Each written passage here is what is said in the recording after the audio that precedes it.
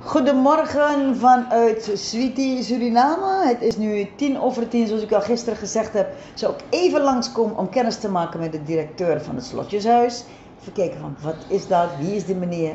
En ja, ik ben net geweest voor het gesprek. We gaan het even afronden, maar ik wil jullie ook even kennis laten maken met de directeur van het Lotjeshuis. Hij kan zich even voorstellen en dan uh, komt er een vervolg uitgebreider gaan praten over wat heeft het Lotjeshuis nog meer nodig. Maar dat jullie algemeen een beeld hebben wie de directeur is. Goedemorgen. Oeh, ik zit, in, ik zit een beetje in het uh, licht, in het tegenlicht. Ja, zo dit.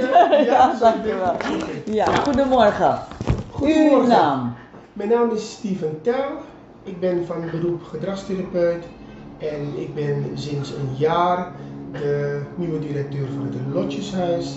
En het Lotjeshuis is een opvangtehuis voor affectief verwaarloosde kinderen, emotioneel verwaarloosde kinderen dus, die vanwege de problematiek een slecht begin hebben meegemaakt. Ja. Uh, ze zijn uh, vaak ook ondervoed, ze zijn vaak ook lichamelijk mishandeld. Dus een optelsom geeft al gelijk even aan dat deze kinderen allemaal al psychisch belast zijn. En uh, de voornaamste doelstelling, de missie van het Lotjeshuis is dus om ervoor te zorgen dat deze kinderen niet alleen worden aangesterkt middels goede voeding, maar met name dat ze weer die liefde en die geborgenheid krijgen die zo een jong kindje nodig heeft om op te groeien tot een goede, gezonde burger met een evenwichtige persoonlijkheid. Ja, en het is zo bijzonder ook dat je dat zegt, want daar gaat het dus om, hè? Die fysieke geborgenheid, die emotionele geborgenheid, ja. die liefde, dat zo van belang is juist bij deze kinderen. En u bent dus net een jaartje hier uh, uh, bij het Lotjeshuis, u bent gedragswetenschapper.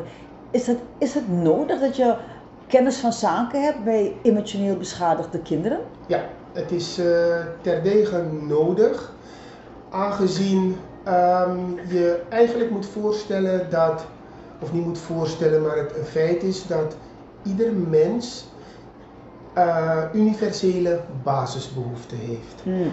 En met name de basisbehoeften, daaronder versta ik liefde, veiligheid, een voorspelbare omgeving, uh, sport en spel, zelfexpressie, dus kunnen aangeven je eigen behoeften, waar je tegenaan loopt, dat je ergens mee zit en dat er ook een hoor, luisterend oor is, dat er ook hoor is naar de problematiek.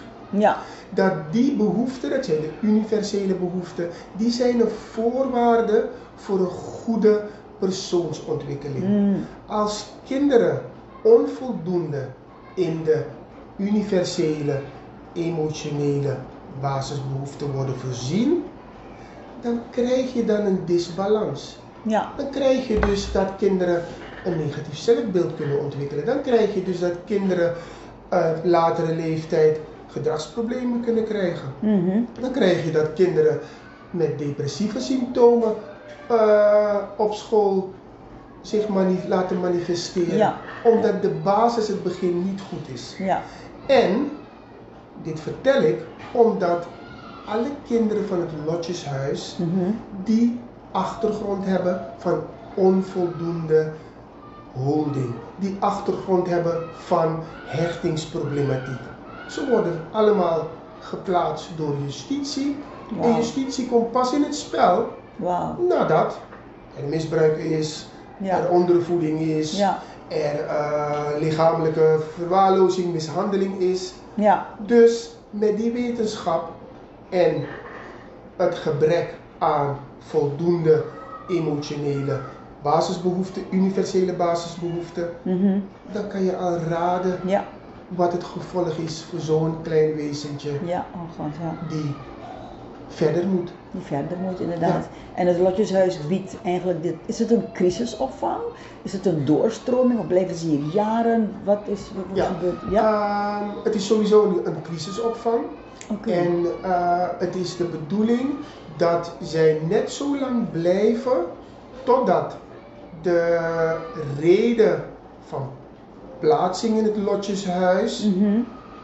Weer is opgelost. Dus dat Ja. wil zeggen dat als de thuissituatie eh, niet in orde was, omdat er eh, sprake was van slechte eh, huisvesting, Mhm. zodra de huisvesting weer in orde is, kunnen ze weer doorgeplaatst worden Ja. naar weer worden geplaatst in het ouderlijk gezag. Ja, Als er sprake is geweest van agressie, ja, is de persoon, de agressor, is die voor behandeling geweest, is die onder behandeling, kunnen weer afspraken gemaakt worden, Mhm. dan gaat het kindje weer terug naar de thuissituatie. ja, Is dat niet het geval, dan blijft het kindje langer. Of in sommige gevallen doen eh, ouders daadwerkelijk afstand van hun kind, dan wordt zo'n kind op de lijst geplaatst voor adoptie, plaatsing in een pleeggezin en dergelijke. ja. Uh, dus het is nooit met zekerheid gelijk te zeggen van kindje blijft drie maanden hier, kindje blijft een jaar hier, gaat weer naar huis. Uh, dus wat dat betreft is het altijd een beetje spannend. En dan uh, doet het lotjeshuis in uh, de hoedanigheid van mezelf en het personeel, doen we ons uiterste best om in die universele basisbehoeften te kunnen voorzien. Mhm.